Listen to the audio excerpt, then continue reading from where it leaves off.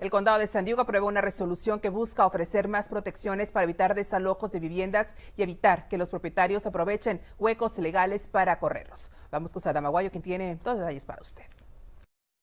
Ve mi casa, no vivo en una mansión, no vivo, solo pido respeto, dignidad y nuestras, nuestras metas básicas. Fue justamente la exigencia que hace Patricia ante la Junta de Supervisores del Condado durante la discusión de una nueva resolución para proteger más a los inquilinos. Pido nomás mantener seguros a mis hijos y protegidos.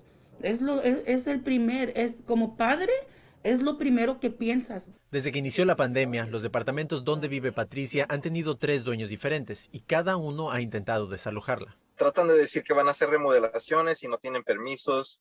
Tratan de decir que la gente está haciendo algún tipo de violación del contrato, pero no tienen comprobantes. Sin conocernos, nomás, aló, buenas tardes, aquí está su papel para que yo soy el nuevo dueño y también hasta la vista. Renovaciones a la propiedad o que el dueño regrese a ocupar la vivienda son dos de las tácticas más utilizadas para exigir un desalojo, pero también utilizan estrategias que poco a poco desaniman y orillan al inquilino a abandonar por su propia cuenta. Me apagó la agua, cambió mi nombre eh, de la electricidad a su nombre, o sea, no es justo, eso es hostigar. Simplemente lo hacen para que la gente se vaya, ellos pueden cobrar rentas más altas a otras personas. Para tapar esos huecos legales, el condado de San Diego aprobó una resolución que previene a los propietarios utilizar dichas excusas y permite desalojos únicamente si se trata de un riesgo a la salud o a la seguridad pública. Me siento un poco más protegida aunque sea dos, dos, meses y medio. Sin embargo, mes a mes la renta se seguirá cobrando junto con los intentos por sacar a personas de su hogar. Y por eso lo más importante para ejercer sus derechos como inquilino es primero conocerlos, pero sobre todo alzar la voz y denunciar. Cuando la gente lucha, la,